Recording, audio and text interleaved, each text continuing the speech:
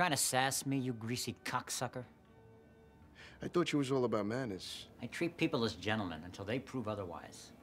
All you've proven is you're a thieving little prick who shows up where he doesn't belong. Since when do you need permission to look at the ocean?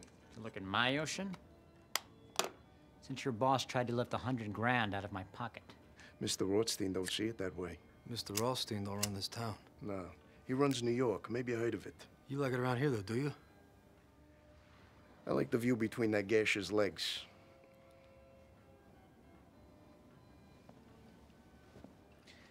You're referring to Gillian Darmody? Is that a name?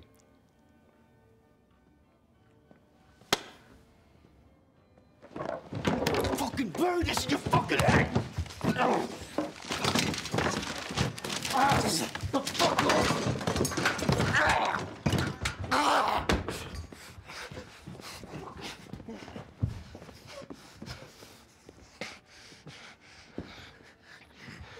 Mrs. Darmody is free to do as she pleases.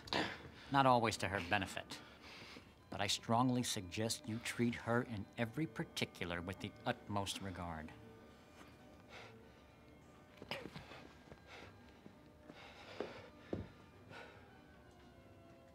Charles, right? Lucky. Lucky. Everything you see here, it's mine. Buy a drink, place a bet, ride the fucking Ferris wheel.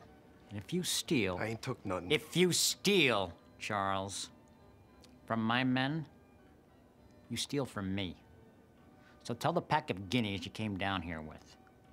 And tell your boss in New York. I don't know what you're talking about.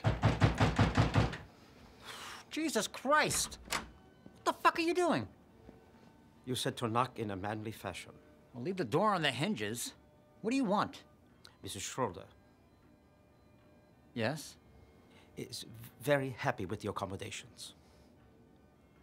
Good. You can go.